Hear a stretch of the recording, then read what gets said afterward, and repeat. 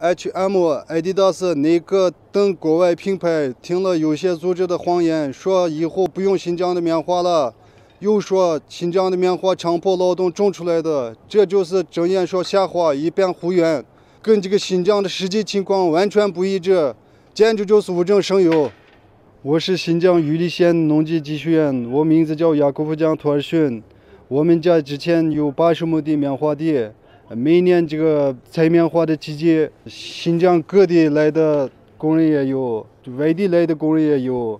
呃，九月份、十月份、十一月份两到三个月之间，有些棉花高手能挣到两三万块钱回家，而且每年他们自愿到我这儿来捡棉花挣钱回家。这两年新疆的棉花产业发展越来越快了。就拿我们玉里县来说，从犁地、播种到最后的采棉花，百分之九十以上的全部机械化。现在我们家的八十亩的棉花地溜卷了。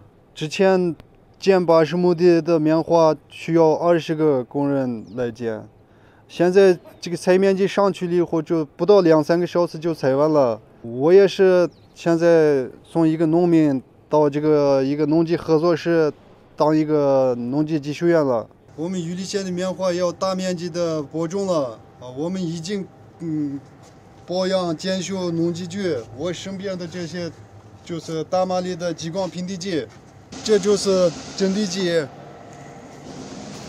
这就是我们的现代化的播种机。呃，这个地方放滴灌带。